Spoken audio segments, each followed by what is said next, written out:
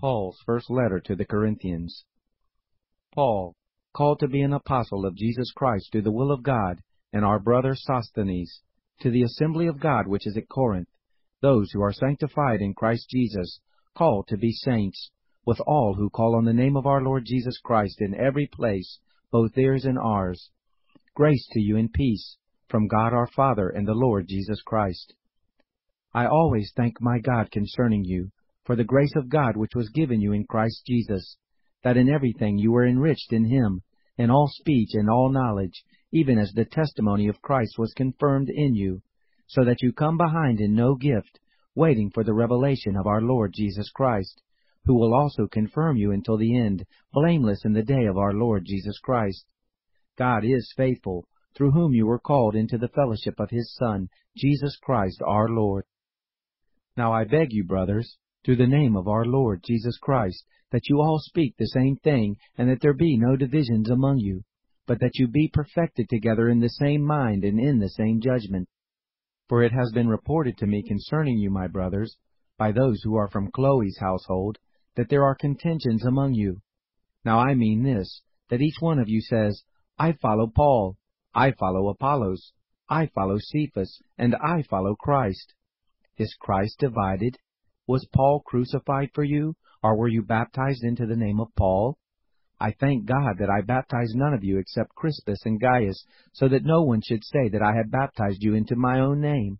I also baptized the household of Stephanas. Besides them, I don't know whether I baptized any other. For Christ sent me not to baptize, but to preach the gospel, not in wisdom of words, so that the cross of Christ wouldn't be made void.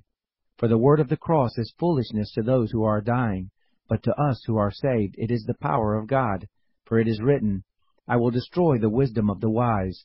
I will bring the discernment of the discerning to nothing. Where is the wise? Where is the scribe? Where is the lawyer of this world? Hasn't God made foolish the wisdom of this world? For seeing that in the wisdom of God, the world through its wisdom didn't know God, it was God's good pleasure through the foolishness of the preaching to save those who believe. For Jews ask for signs, Greeks seek after wisdom, but we preach Christ crucified, a stumbling block to Jews and foolishness to Greeks. But to those who are called, both Jews and Greeks, Christ is the power of God and the wisdom of God. Because the foolishness of God is wiser than men, and the weakness of God is stronger than men. For you see your calling, brothers, that not many are wise according to the flesh, not many mighty, and not many noble. But God chose the foolish things of the world that he might put to shame those who are wise. God chose the weak things of the world, that he might put to shame the things that are strong. And God chose the lowly things of the world, and the things that are despised, and the things that are not, that he might bring to nothing the things that are, that no flesh should boast before God.